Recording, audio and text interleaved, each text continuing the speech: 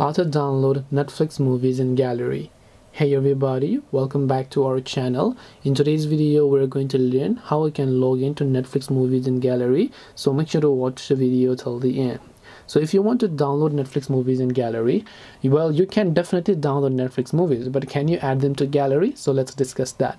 So when you open up Netflix, we can open it up like this. And then you select a certain series that you would like to download.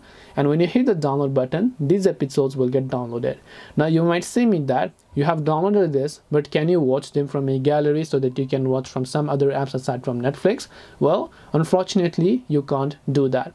You can't just go ahead and then download a movie from Netflix and keep it offline for your own personal use. You can definitely keep them offline within the Netflix app so that even when you're not connected to the internet, you can still watch Netflix when you go to the download section and find out what you've downloaded. Just like how you have the download button in YouTube, you can only watch them from within the YouTube app. Similarly, you can you cannot download the Netflix movies to your gallery or to some other app so that you can watch them later if that's what you're talking about. This is simply against their rules. So hope this video helped you guys. If you have got any questions then feel free to also leave them down below.